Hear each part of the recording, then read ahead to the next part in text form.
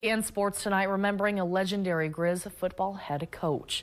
The University of Montana announced the death of Don Read Wednesday on the on X, the platform formerly known as Twitter.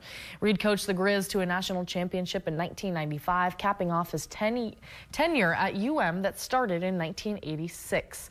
He was inducted into UM's Grizzly Sports Hall of Fame in 1998. He returned as athletic director in May 2004 and retired July 2005. Read was 90 years old.